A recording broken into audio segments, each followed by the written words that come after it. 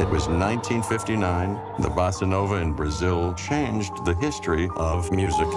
Ella Fitzgerald, Sarah Vaughan, Dizzy Gillespie, Stan Getz, even Frank Sinatra. The entire world began singing and dancing to Brazilian music. I read Jeff's article on the bossa nova rage of the 1950s. I asked Jeff to take things a step further. The story, however, became more complicated. One day, I came across a name unknown to me. Who's Tenorio Jr.? Tenorio was one of the top figures of samba jazz during the bossa nova years. What happened to him? Very strange story. He disappeared just like this.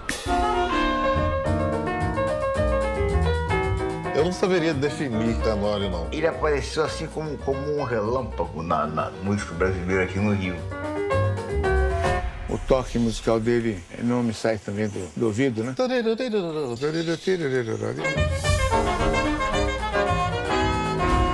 Era uma coisa absolutamente estranha. They stopped a golden age right in its tracks.